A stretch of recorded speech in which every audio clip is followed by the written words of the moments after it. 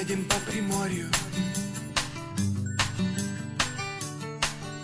Партнер рубрики «Туристическая компания «100 дорог» предлагает групповые и индивидуальные экскурсии, уникальные в научно-познавательном и эстетическом отношениях для школьников, студентов, работающих коллективов. Здравствуйте, любители Приморского края. Село – вид сельских населенных пунктов, к которым также относятся деревни, поселки, хутора и другие. В среднем село вмещает в себя до 2000 жителей. В Уссурийском городском округе 38 таких населенных пунктов. С историей одного из них мы сегодня и познакомимся.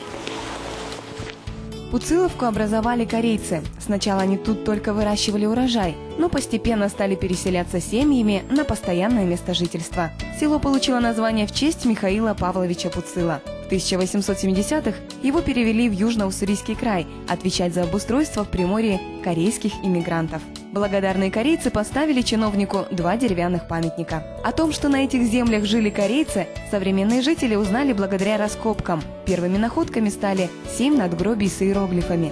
Теперь школьный музей оброс экспонатами. Стали здесь находить две культуры, да, вот корейская ранее и это бахай.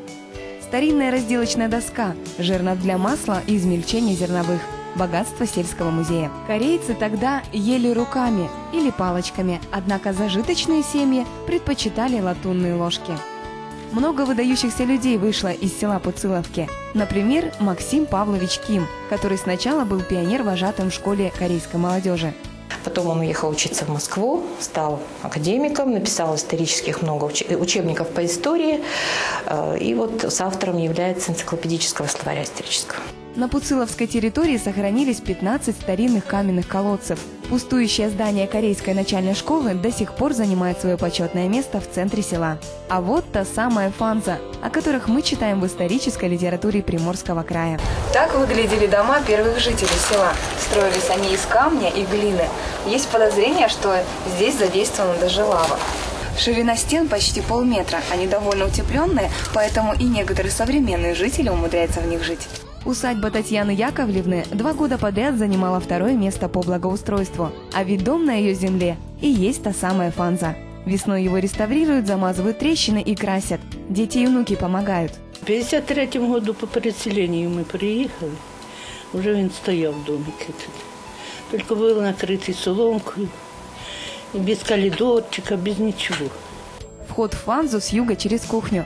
Печку уже разобрали. На ней можно было спать и хлеб печь. А чем я сейчас занимаюсь? Ничем.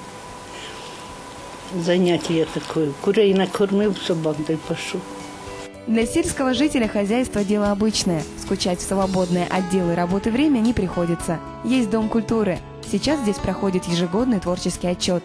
Этим рукоделием уже лет 50. Вышивка, гладью, крестом, потом вязание. Бисером начала заниматься, делать нечего на пенсии уже. Вокальной группе Дома культуры уже 32 года. В небе звездочки далекие мигают, а девчоночка никак не допоет. Молодежь, так это спортивная секция. Школьники ходят, это у нас туристический кружок «Асимут». А дискотеки по выходным, Значит, по, в праздничные дни у нас э, концертные мероприятия в Доме культуры. Желательно, хотелось бы, конечно, чтобы производилось строительство э, частного сектора. Вот, ремонтировались э, подержанные дома, уже много стареньких домов. Пока в Пуциловке детский сад, школа, сельский совет.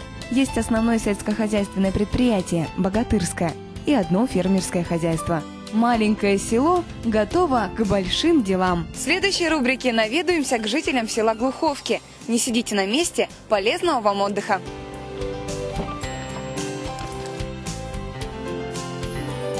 Партнер рубрики «Туристическая компания «100 дорог» предлагает групповые и индивидуальные экскурсии, уникальные в научно-познавательном и эстетическом отношениях для школьников